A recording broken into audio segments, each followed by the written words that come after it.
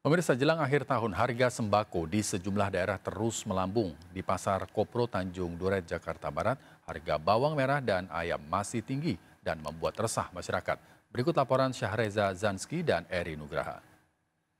Ya, pemirsa jelang memasuki tahun baru 2024, sejumlah komoditas pangan di Pasar Kopro Tanjung Duren Selatan, Jakarta Barat ini masih terpantau melambung tinggi. Uh, tadi juga dibenarkan oleh sejumlah pedagang yang membenarkan bahwa uh, kenaikan ini sudah terjadi satu bulan yang lalu untuk komoditas pangan-pangan seperti uh, bawang merah, daun bawang, ayam, dan gula pasir sebagainya.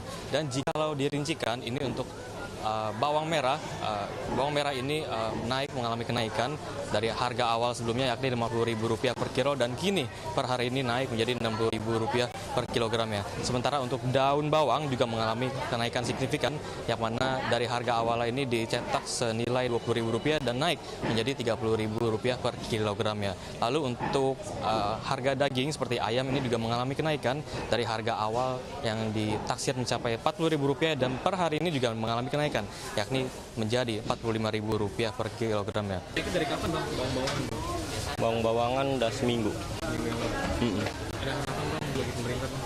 Ya kalau bisa sih di apa di minimal lagi lah di harga normal lagi gitu.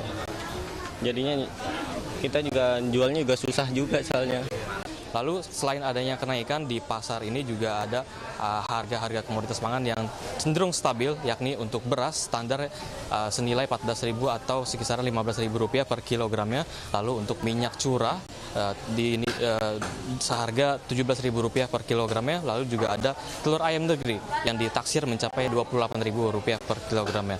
Lalu untuk masalah kenaikan harga tadi juga sejumlah pedagang dan masyarakat menyampaikan agar pemerintah bisa segera menekan harga harga harga komoditas pangan di pasar di sejumlah pasar termasuk di pasar yang saya berada. Namun bisa dipastikan bahwasanya uh, mereka masih menunggu respon dari pemerintah untuk segera menekan harga-harga itu khususnya memasuki tahun baru 2024. Dari Jakarta Syahri Zazanski, Eri Nugraha, iNews melaporkan.